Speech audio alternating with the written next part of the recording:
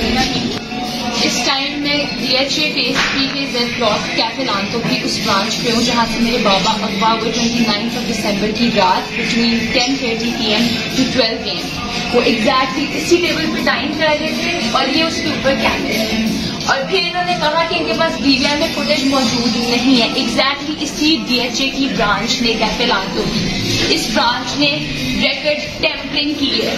इस ब्रांच ने फैसिलिटेट की है पंजाब पुलिस को उनके अगवा के अंदर।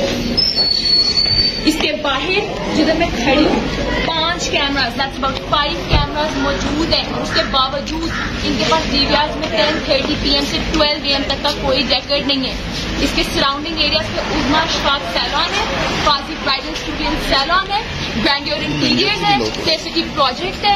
यहाँ पे चार से पाँच घर है। कितनी इंटरेस्टिंग बात है, कितना इंटरेस्टिंग कोइंसिडेंस है कि साढ़े दस बजे से लेकर बारह बजे तक के जो डीवीआर है, उसके अंदर किसी के पास रिकॉर्ड नहीं। मैं यहाँ पे खड़ी हूँ, मैं यहाँ पे खड़े होकर ये बात कहना चाहती हूँ कि इन्होंने फैसिलिटेट किया पंजाब पुलिस को।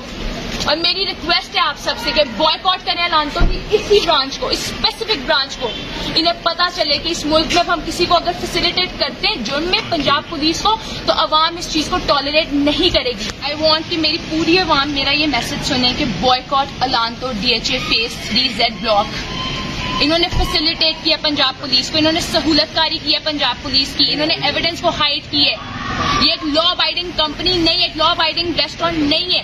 ये ब्रांच और इसके इर्द गिर्द के तमाम एरियाज़ में कितनी इंटरेस्टिंग बात है, कितना इंटरेस्टिंग कोइंसिडेंस आप खुद देखें कि साढ़े दस बजे से लेकर बारह बजे की फुटेज ही नहीं मौजूद। आप जानते कि किसने अगवा किया उमर डाल को आप खुद डॉट्स को कनेक्ट कर लें।